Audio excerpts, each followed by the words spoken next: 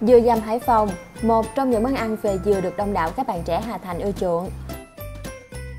Xuất hiện tại Sài Gòn thời gian chưa lâu, món ăn này bỗng dưng trở thành tâm điểm chú ý, được xướng tên trên bảng vàng những món ăn bạn nhất định phải thử khi ghé Sài Gòn. Dừa dầm có thể xem là một tổ hợp dừa với các nguyên liệu chủ yếu làm từ dừa như cù dừa nạo sợi, rau câu dừa, trân châu nhân dừa, sữa dừa. Quả thật nếu bạn là tín đồ của dừa thì làm ngay một cốc dừa dầm cho thật sảng khoái tâm hồn nhé.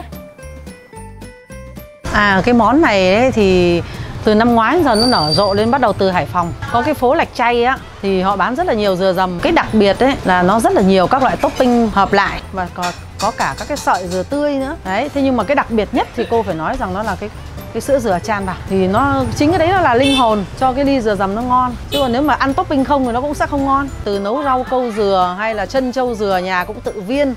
đó chỉ mua mỗi dừa thôi Đầu tiên, khi bạn cầm cốc dừa dầm trên tay, thì giác chắc chắn sẽ vẫn còn chê chán bởi màu trắng nhạt nhòa của cái dừa. Thế nhưng khoan kết luận vội, khứu giác của bạn trong vòng 2 giây đầu sẽ thức tỉnh ngay bởi mùi của dừa kết hợp với sầu riêng thơm một cách mỹ miều. Xúc một thìa đầy topping cho vào miệng, có lẽ vị giác cũng ngay lập tức bị thôi miên bởi những nguyên liệu dân dã mà thơm ngon được kết hợp với nhau một cách hoàn hảo. Dừa non mềm dẻo bào mỏng, cù dừa nạo sợi giòn sần sật, ăn cùng với trân châu hạt nhỏ dẻo quẹo và nước cốt dừa béo ngậy. Giá cả một ly thì cả năm qua cũng không hề lên giá dừa dầm xíu nào Lúc đầu là 25 và bây giờ cũng vẫn là 25 Nhưng mà dừa dầm sầu riêng thì nó phụ thuộc vào cái trái sầu riêng nó mắc thì giá dừa dầm sầu riêng nó lên tới 35 ngàn ờ, Mỗi người phụ trách một món Món của người nào thì người ấy phải chịu trách nhiệm hết mình cho cái món đấy Thì nó sẽ giữ vững được cái, cái yêu cầu về mặt chất lượng Nhưng mà cái quan trọng nhất là cái nguồn nguyên liệu phải ngon Dừa nạo sợi ăn giòn giòn, phần thạch rau câu ngọt vừa, ăn rất mát. Ngoài ra thì còn có củ năng nhân dừa, chân trâu trắng và có thể mix thêm một chút sầu riêng nếu bạn thích nữa đấy.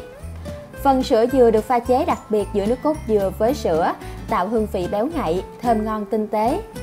Chắc chắn bạn sẽ có được cảm giác thanh mát khi thưởng thức trọn vẹn một cốc dừa dầm giữa thời tiết oi nóng của Sài Gòn.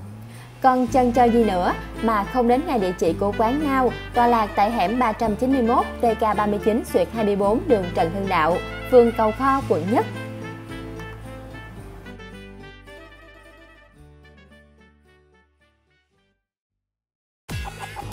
Theo dõi kênh nhé.